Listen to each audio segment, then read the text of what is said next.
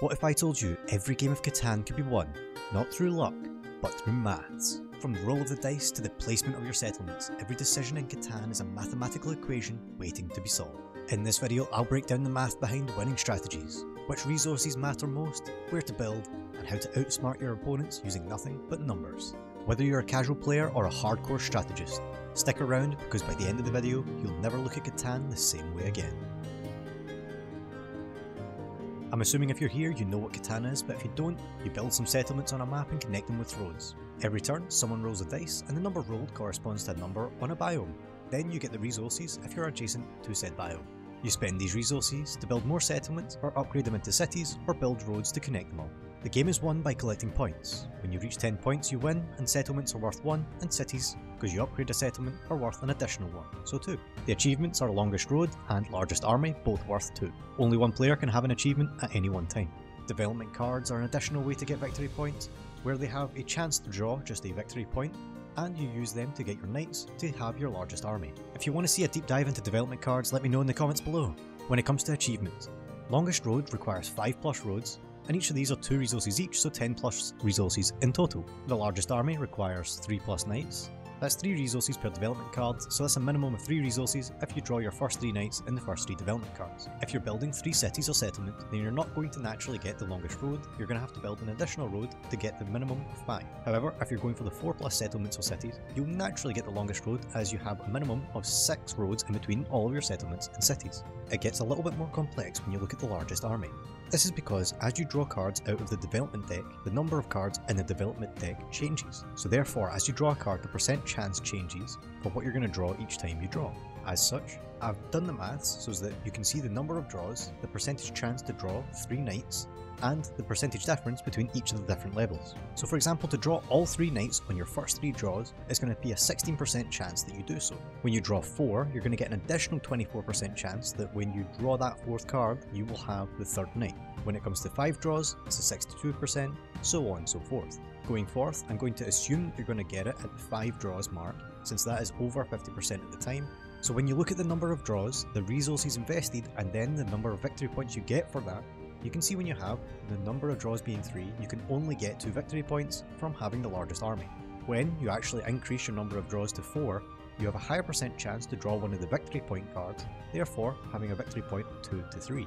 When you increase your number of draws above 4, you have a much higher percent chance to actually draw one of these victory points and therefore you're tending towards 3 victory points for your number of resources invested. It is therefore more important to invest your resources at 5 or 6 rather than 3 or 4. If you're going for the largest army, you're likely to need less settlements due to getting the extra victory point while collecting your knights.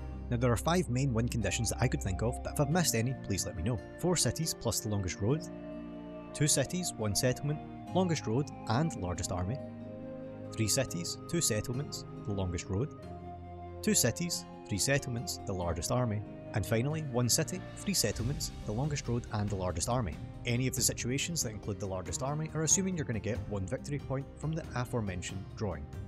I've taken the 5 win conditions and written them out so you can see how much of each resource is required to get that win condition. I've then totaled them in the final column. The second one has an extra brick in a wood because you need an additional road because there's only two cities and one settlement, as mentioned before. It's important not only to look at how many of each resource is required, but how often those resources will come up on average.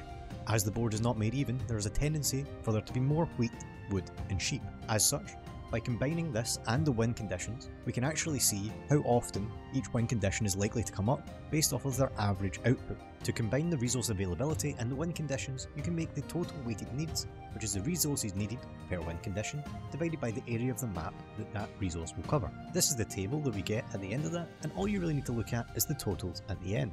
As you can see, there are different totals depending on how much of each resource is required and how much of the map that that actually takes up. You can get the resource importance index by taking the number we just calculated and dividing it by the number in the total column. This gives us a percentage for each of the resources, how common they are, and how useful they are for that specific build. So for example, for the first one with the 4 cities and the longest road, 25% of all resources that you'll need for this build are bricks, 28% are ore, etc. Now I'm sure a few of you have been shouting at your screens wondering how the dice rolls come into all of this. Well here we go. The dice rolling statistics for a 2d6 results in a normal distribution across the different numbers rolled. The 2 and the 12 have one combination that can make it, the 3 and 11 have two combinations, all the way up to 7 which has 6 combinations. Therefore, rolling a 7 is the most likely, and that's why the robber comes up so often. We can then look at the statistics and the probability of how often each of these will actually come up, and as you can see, the rolling a 7 is going to come up 16.7% of the time, whereas rolling a 2 or a 12 is actually at 2.8% of the time. The difference between each of these probabilities is 2.8%, and going forward I'm going to round that to about 3%. This 3% is actually really key to understanding what number we should be aiming for for what resource, and you'll see how I'm going to use that going forward.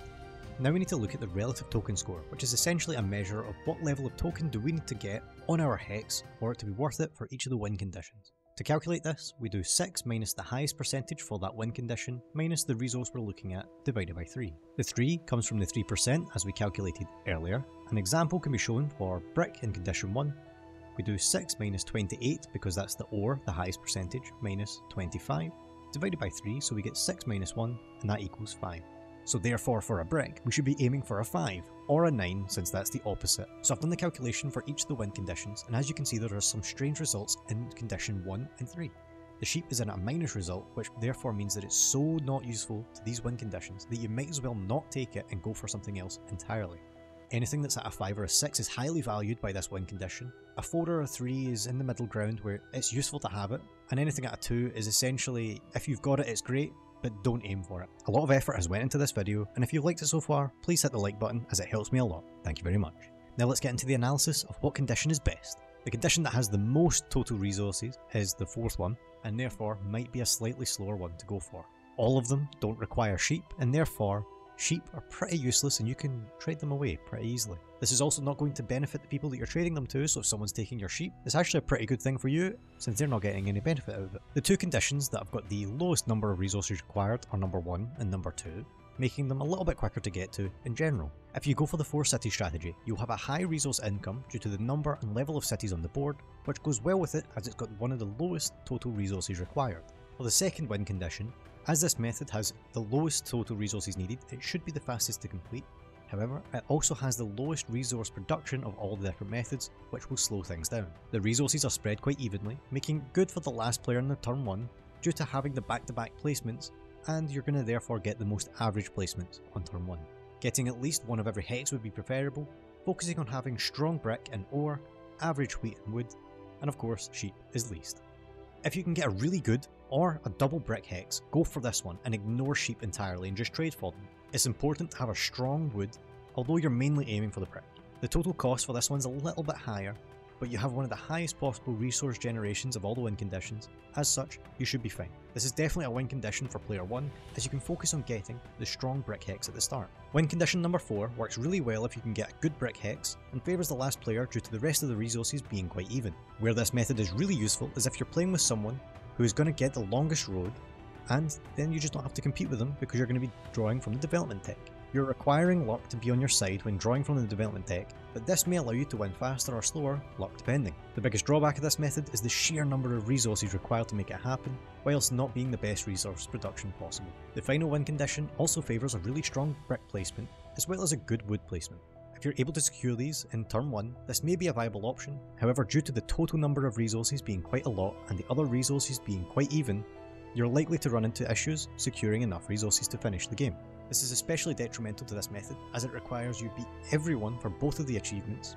As such, I think that this is the worst method on the list. I think win condition 3, the 3 cities, 2 settlements and longest road is likely to be the most consistent and best method to victory. It has a strong focus, allowing it to be easily played and only requires you have really strong brick. If however you can't get your hands on brick, I would suggest going for the 4 cities and longest road as it does a little bit of everything, it has really good resource generation, and it only needs good and not strong hexes to win. If you think I've missed a win condition or something I haven't thought of, please let me know in the comments below. Normally the comments are alive with different ideas and concepts that people have come up with, so please have a look there and let me know of anything that you think I might have missed. Thank you very much for watching, have a wonderful day, bye bye.